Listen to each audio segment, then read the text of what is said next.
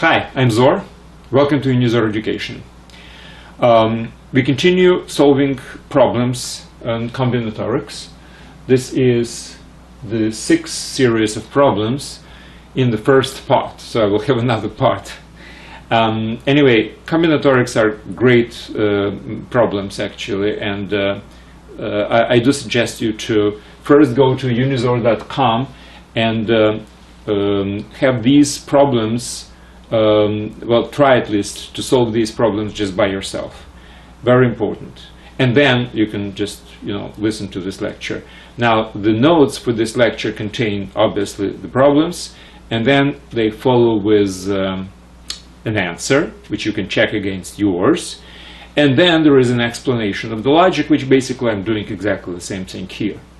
So again, the main source is um, the problems and the main activity is to try to solve these problems yourself. All right, now, after that is done, so let's go to the problems of this particular lecture. One is, okay, I have a number, 2 to the power of 2 times 3 to the power of 3 times 4 to the power of 4 times 5 to the power of 5. This is my number. I would like to know how many divisors or factors um, does it have? Well, let's include number one and and the whole number as as divisors, just for simplicity purpose. Okay. Um, well, I did solve a somewhat similar problem um, before in one of the previous lectures, but in that program, in that problem, um, all the um, multipliers were prime numbers. And then the problem was kind of relatively simply solved. This is not the case, and that's exactly my, my, my first most important point right now here is before doing anything like counting how many different um, divisors the, uh, the, particular number has, we have to represent it uh, as a product of prime numbers well uh, raised to certain powers, obviously. Now, in this case, 2 and 3 and 5 are prime, 4 is not. So I have to convert it to prime, which means I have to convert 4 into prime numbers. Now, 4 is 2 by 2, and 4 to the 4th degree is 2 to the 8th degree, right? This is 2 squared, and to the fourth we multiply the exponent so it's 2 to the 8th degree. Which means that my number n is equal to 2 I have second power and I have the 8th power right? So altogether uh, are 10 and this is a representation as a product of prime numbers in certain powers. Now this is now easier now, if we would like to count how many different divisors this particular number has, well, let's just consider. Every divisor has to have certain number of 2's from 0 to 10, certain number of 3's from 0 to 3, and certain number of 5's from 0 to 5. Because these are prime numbers, there are no other combinations. If my divisor has anything but 2, 3, and 5, or it has two or three or five in the in the power greater than 10 or 3 or, or, or 5 correspondingly, then it cannot be a divisor. So all I have to do is to choose certain number of 2's, certain number of 3's, certain number of 5's, multiply them, and that's a divisor, as long as the numbers do not exceed the powers. So how many choices do I have? Well, I have 11 choices for uh, number 2 to choose from 2 to the power of 0 to 2 to the power of 10, right? So I have 11 choices for my first um, component. Then I have from 0 to 3, it's 4 choices for certain number of trees in my divisor, and then the 6 choices of 5. So any uh, power which I can choose from 2 for, for 2, for 3, and for 5 then I combine them together, raised in these powers, that's a divisor, right? And this is 264. So that's the answer. That's how many divisors this particular uh, number has. Okay, this is easy. And again, just let me repeat. All I have to do is first represent as a product of prime numbers in certain powers, and then everything seems to be very simple. And uh, for prime numbers, I have already basically solved this problem in its general format. So if n is represented as p1 in the power of n1, p2 power n2, etc., pn, well, let's use some other letter, pk, let's say, power nk, then if p1, p2, and pk are, are, are prime numbers, and again, I'm referring you to the, to, to, the problem which I have already solved in one of the previous lecture.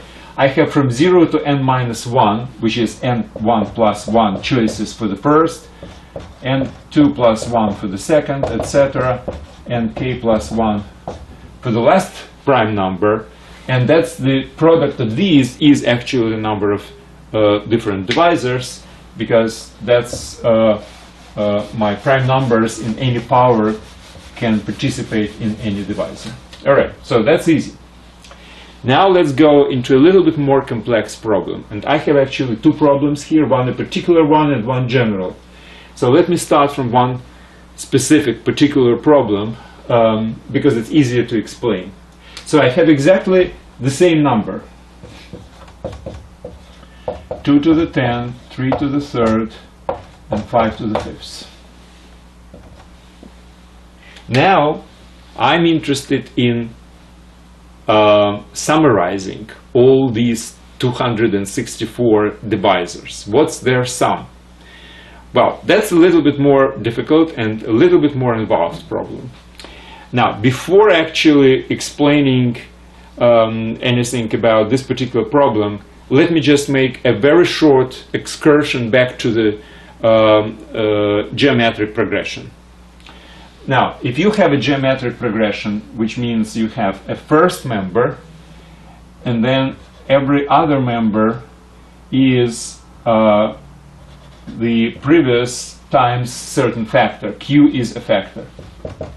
And let's say the very last one is q to the nth degree. And what if I want to summarize them? This is called sum of geometric progression. I don't know about you. I never remember the formula. However, I do remember how to derive it. Very simply, actually. Let's multiply s by q. What will I have? a times q would be aq. a times aq would be aq square. Now, the previous one to this would be a times q to the n minus first and times q would be a q to the n's and if I will multiply q by this I will have a q n plus first right? So if I will subtract from this I subtract this I will have s times q minus 1 equals now these are all cancel out and I have only the last one and the first one. A q to the n plus 1 minus a from which follows this formula. Oh, sorry, minus, yeah, minus 8, right, minus 1 divided by q minus 1, okay? So the formula obviously is true for this factor not being equal to 1. Everything else works fine. But for equals to 1, it's actually a, a, a, a, a, so the, the sum is equal to a times n plus 1, so it's a separate case it's not interesting, we are not considering it. Anyway, this is the formula which I have just derived, and I will be using this formula. So, if I have certain geometric progression with certain number as the first member, certain factor, and certain maximum exponent uh, of the factor participating in the sum, this is the formula.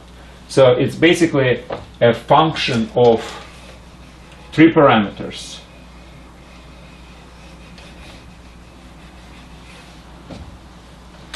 The first member, the factor, and the maximum. Okay? All right, so let me just write it somewhere up there so I don't forget it anymore and, and, and I don't have to derive it anymore. So S of A Q N equals A Q N plus first minus 1 divided by Q minus 1. Okay, done. Now let's think about this particular problem. So again, I would like to know what's the sum of all these 264 as I calculated in the previous problem um, divisors of this number. I suggest a, a geometric interpretation. Here is my three-dimensional space. Now, three-dimensional because I have three prime numbers, by the way.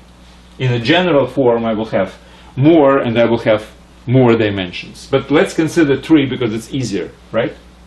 So what I will do is the following. I will put numbers here from 0 to 10.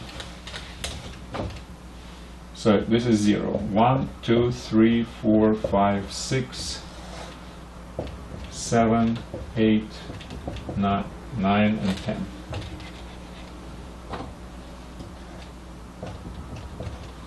And they will represent the power of 2, which I'm going to use.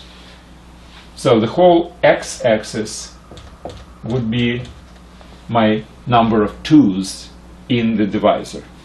Now, y-axis would be the number of trees, and I have 0, 1, 2, 3.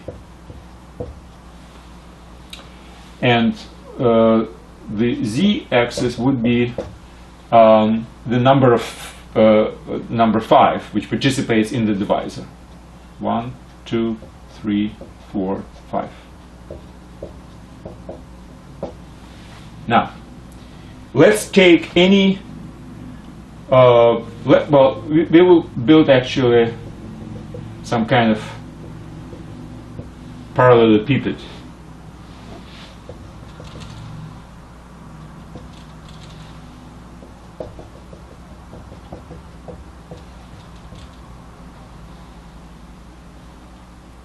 all right.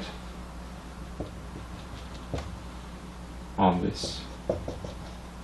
Something like this. Whatever so this is a parallelepiped every point inside of that parallelepiped with integer coordinates I'm talking only about points which have integer coordinates so they have projection let's say this is projection on the x-axis this is projection on the y-axis and this is projection on the uh, z-axis. All right, so the point is somewhere here.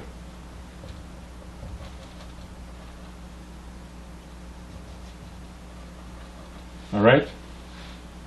Now, what does it mean? It means that the coordinates are what five, uh, one, and two.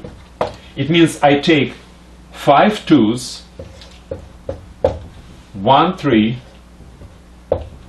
and two fives and this is of uh, one of the divisors right so my point is that every point inside of this parallelepiped with integer coordinates of course corresponds to some divisor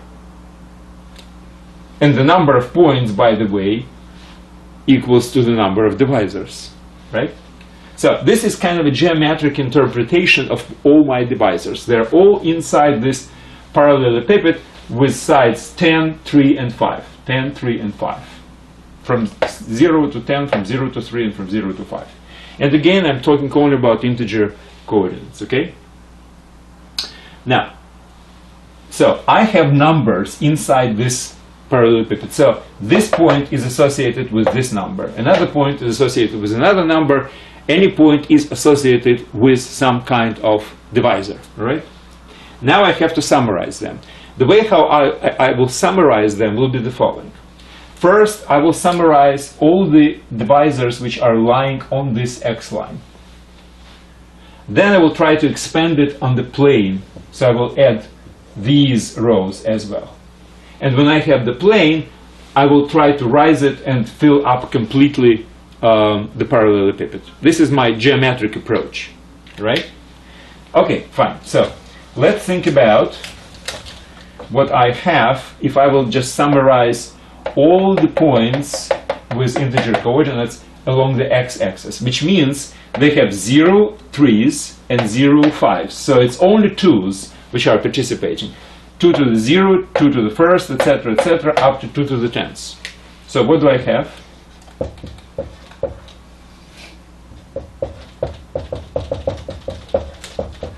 Well, this is geometric progression, right? The first member is equal to 1, right? 2 to the, to, to, to the power of 0.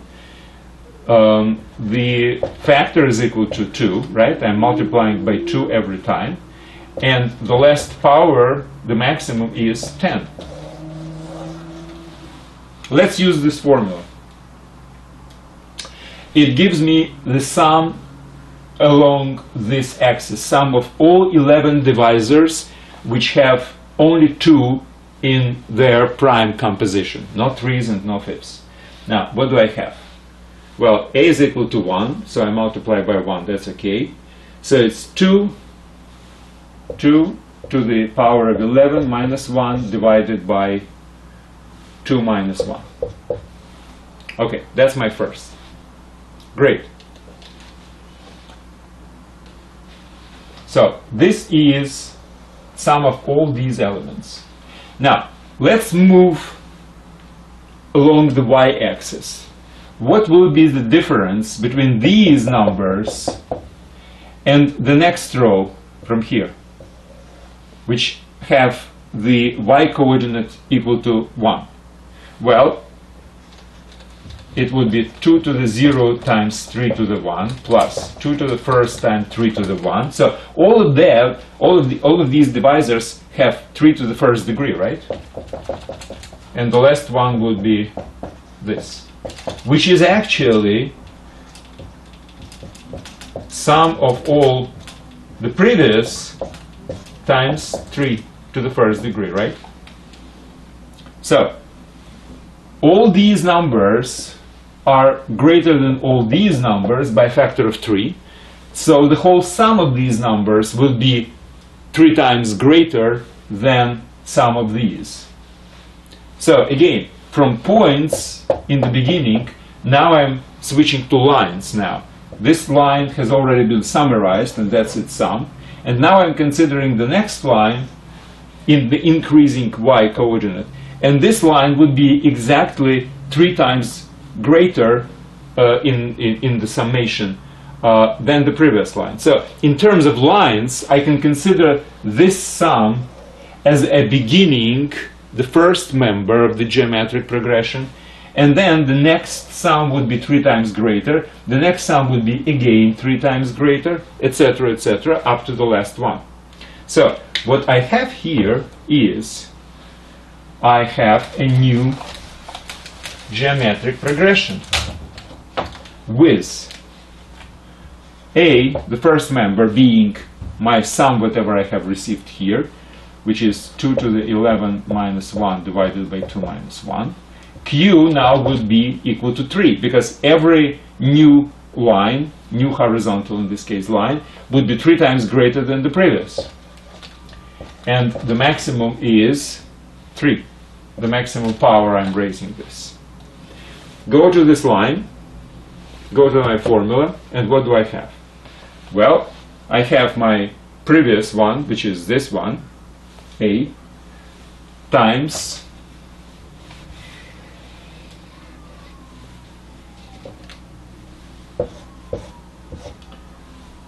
uh, 3 to the power of 4, right? And, and n is equal to 3 minus 1 divided by 3 minus 1, q minus 1. That's the result of my summation of all the different divisors which lie on the xy plane. They don't have any 5 in their, uh, in their prime representation. Fine, great, done. So now we have found, the first step was summarize along the line. Second, summarize along the plane, xy plane. And the third one, obviously, I will summarize uh, in the third dimension. Let's add 5. Now, let's consider any divisor which lies on the xy plane. It has number of fives in its representation equal to zero, right? What if I will switch to the next plane, this one, where the coordinate of z, co z coordinate is equal to 1. It means I'm adding 5 into the representation. So every member of this plane, which is on xy, with uh, z coordinate equal to 0, uh, and then if I switch it um, to the next one, if I raise it to the first uh, coordinate on the z uh, axis, it will be five times greater because it means that every member, since every member on this plane with z coordinate is equal to 1, has 5 in the first degree, right? So the sum of these, comparing to sum of the next plane one, one higher, what would be their uh, difference? Well, the plane which is one higher would be five times greater if you summarize all the, uh, all the members of this plane will be five times greater than the sum of, uh, of the basic uh, uh, xyz, xy plane, right? since every divisor would be multiplied by 5. What would be the next? If I will raise again this plane to the level of z coordinate is equal to 2. Well, again, that means that I have 5 to the second degree, right? Power of 2, which means I'm again multiplying every divisor by 2, and the sum would be also uh, multiplied by, by, by, by, by 5 and uh, the sum would be multiplied multiplied by 5 again, right? So every time I'm raising this plane higher and higher, sum of uh, the um, elements on that plane would be five times greater than the previous one. So I have again a geometric progression of these sums. The first member being this one, right? So this is my first member.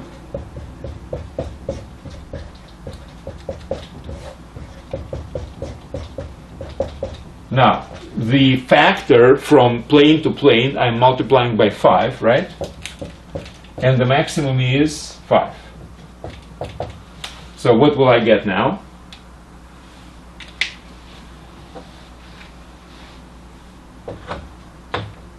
I have to multiply A, right? Which is this.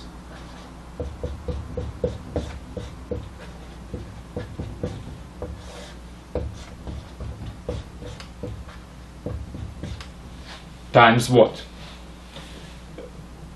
Uh, q to the n plus first. 5 to 6 minus 1 and divided by 5 minus 1. So that's the answer.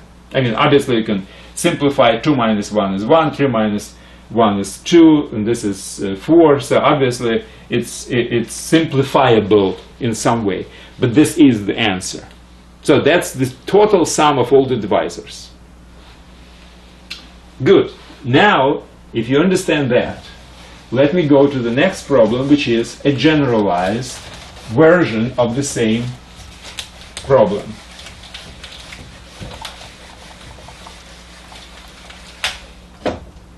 Now, I was kind of lucky that in this particular case I had only three prime numbers and I have used the three-dimensional space and made the picture for you.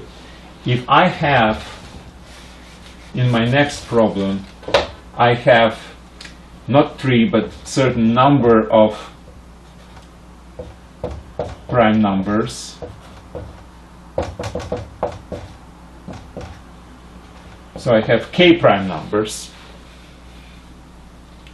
and every one of these prime numbers is uh, raised into certain power. And now the question is again absolutely the same. What's the sum of all its divisors? So, well, instead of using this picture, I will just use plain coordinates, right? So, first, I will uh, consider um,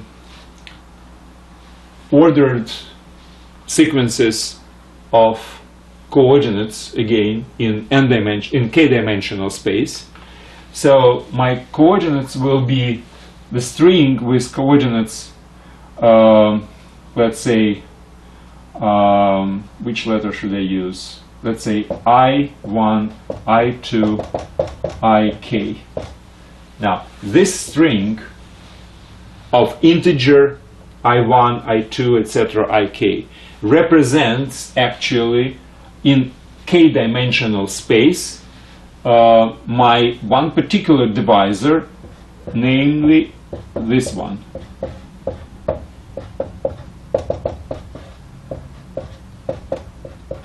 And obviously each aj should be no greater than nj and 0 and integer, right? So these are all the different divisors which uh, this particular number n has. So when i1, i2, etc., ik are going among all these different numbers or the, uh, all the different combinations, and obviously we know that the number of combinations for j1, for instance, for i1 is n1 plus 1, from 0 to n, n1, for i2 would be from 0 to n2, etc., etc. So the total number of divisors would be n1 plus 1 times n2 plus 1 times n3 plus 1, etc. But now we are interested in their sum, not in their quantity. So I will consider these sequences of k integer numbers conditioned uh, th th this way as representing these divisors, right? Now, let me first summarize all the different divisors which are represented with something 0, 0, 0. So the first coordinate is changing from 1 to n, n1, from, from 0, uh, sorry, from 0 to n1. So for all these divisors, which are basically described by uh, these particular strings. So 0, 0, 0, 0 means uh, my divisor p1 to the 0, p2 to the 0, etc., pk to the 0, which is equal to 1, by the way. Now, um, the first coordinate equals to 1 means p1 to the first, and these are still in a 0, in the power of 0. Excuse me. Now, if I want to summarize them, what are the results of the summation? Well, the first number with 0 uh, is equal to 1, right? Because every power is equal to 0. The second number would be equal to p1, because p1 would be in the first power and the rest are 0, which is 1. Next one would be p1 square, etc. And the last one would be p1 to the n1. So that's the sum of these. I put the sigma sign here. So sum of all these, if you wish I can actually do it a little bit more scientifically. I can put I1 here, where I1 from 0 to N1. Right? So these are my uh, all the divisors which are along the first coordinate.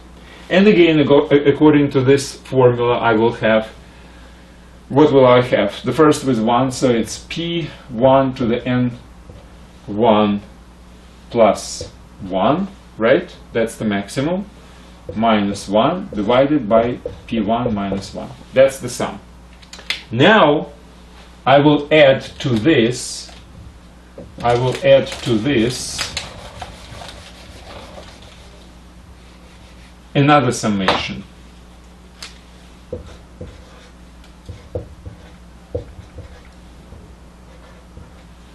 And I2 would be here.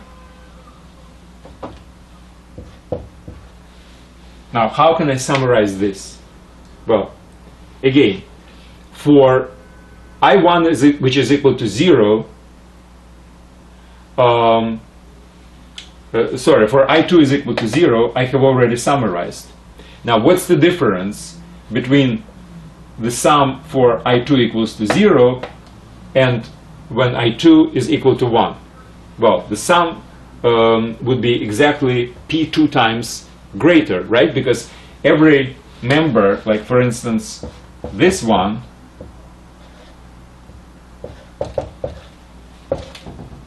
if I multiply it by P2, it gives me this member. Right? From 0 to 1. Because this divisor contains only P1 in the degree in the power of I1, right? And this divisor contains the same P1 uh, in the power I1 and P2 to the first power. So this one would be smaller than this one, or this one would be greater than this one by a factor of P2. Now, next would be if I multiply this by P square, P2 square, I will get this one. So if I want to, to, to summarize them all, I will have to basically take this as my first member of the geometric progression, P2 as a factor, and the maximum, which is n2, which is n2, uh, would be my maximum uh, power, maximum exponent, which I'm using, right? So whenever I would like to extend my summation from just the P1 to P1 and P2 divisors, I have to multiply it by correspondingly P2 to the power n2 plus 1 minus 1 and divide by p2 minus 1. So I'm basically explaining exactly the same thing as I was explaining in the case of a three-dimensional. And obviously the formula would be, as you understand, more or less the same. But I would like to prove this formula a little bit more rigorously. How can I do it? Well, the best way is actually by induction. So let's consider that I have already guessed the formula based on all these considerations. And the formula is this one.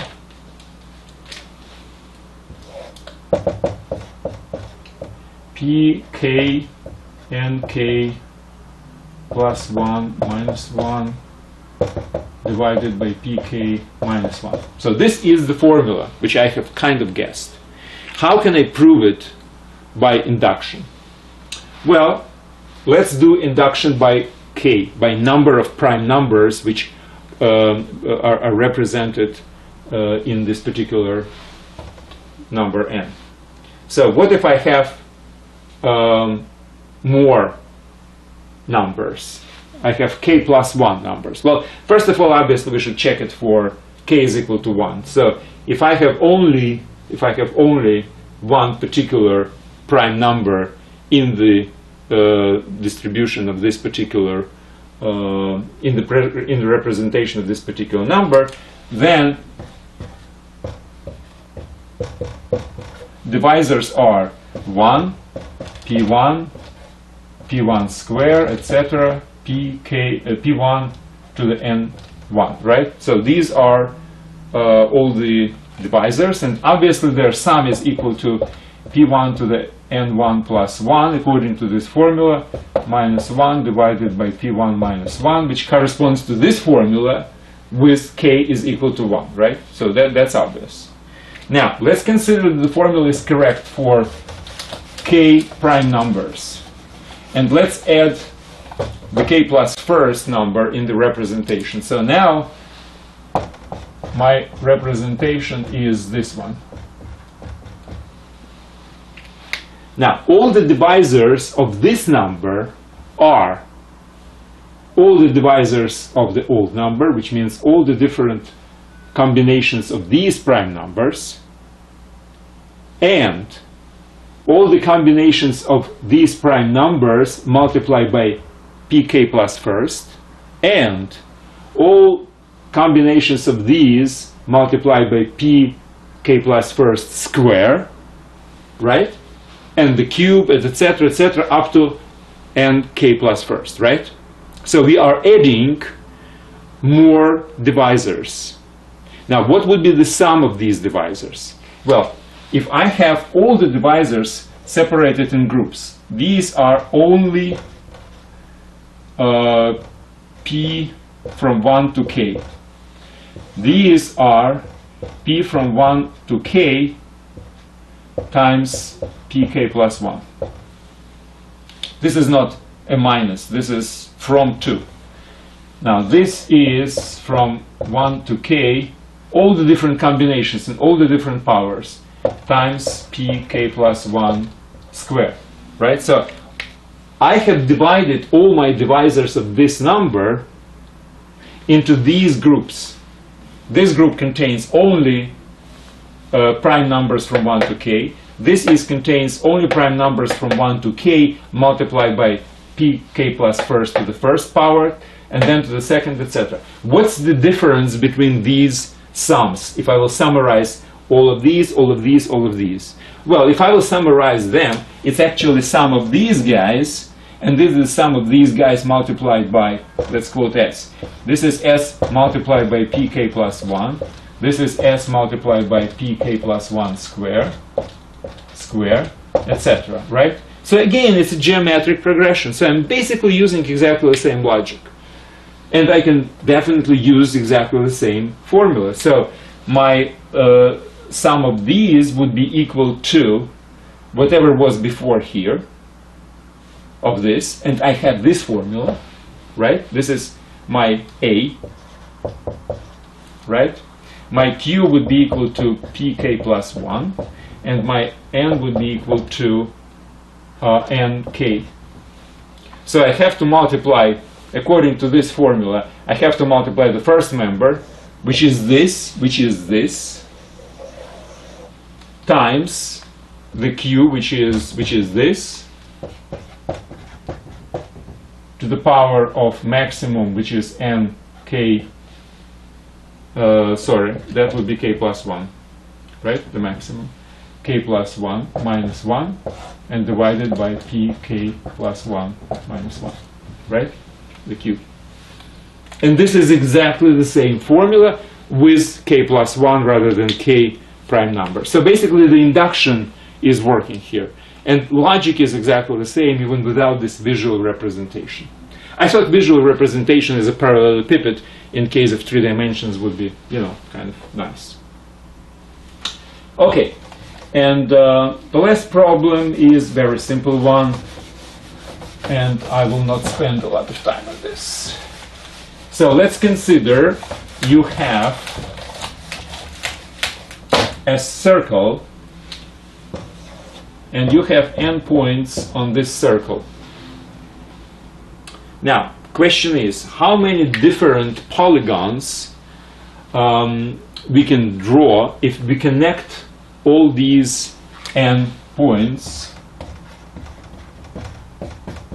in some order. So the polygons are not necessarily convex. So not necessarily I have this one. I can also have this, this, this, and this. This is also polygon. Right? And this is also a polygon. So I can, can connect this, this, this, and this. So how many different polygons I have?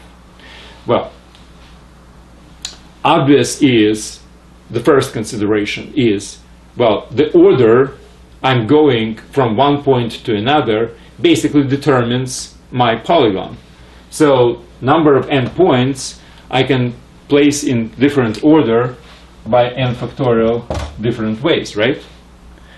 Well, that's not the end of it, obviously, because you see, if this is, let's say I start from 1, 2, 3, 4. 1, 2, 3, 4, right. So if I will do it in this sequence, from this to this, from this to this, to then to this, and, the, and, and then I end, end the story from 4 to 1. This is exactly the same polygon uh, as if I, for instance, start from this, then go to here, then to here, and then to here. Right? This, this, and this, and this. Which means that there are certain repetitions, the same polygons, even if the sequence is different. So what's the difference? What, what kind of different sequences produce exactly the same polygon? Well, obviously it's the cyclical uh, permutations. So if you have a cyclic representation,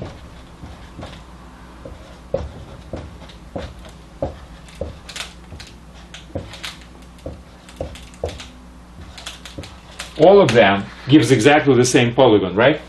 From first point to second, and then to third to fourth, or and then back to the first, that to, to complete the polygon, or from the number two point to number three to number four, and then to number one. It's exactly the same sequence of, li of lines, basically the same the same segments which make the polygon. So I can actually make this uh, cyclical uh, permutation without changing the polygon itself. So now the question is how many, for any particular permutation, how many cyclical permutation it, it, it has?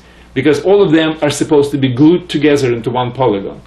Well, the answer is, well, if you have four, for instance, members, well, obviously you can start from any one of those, from the first or from the second or, or from the third or from the fourth, right? So does it mean that it's four different cyclical permutation? Well, not exactly, because you can actually go to the opposite direction. You can start from the first, and then go to the fourth, and then third, and then second, and then close to one. This is also exactly the same. So you have two different directions. Four, three, two, one, three, two, one, four, and two, one, uh, four, three something like this, right? So I have actually 8 in this case. So for n points, I can have it moved cyclically one way, let's say clockwise, for instance, or whatever you call it, um, to, to do the cyclical per, uh, permutation. Or I can do it counterclockwise, and it will be exactly the same polygon. So I have 2n different cyclical permutation, and the answer is I have to divide it by 2n.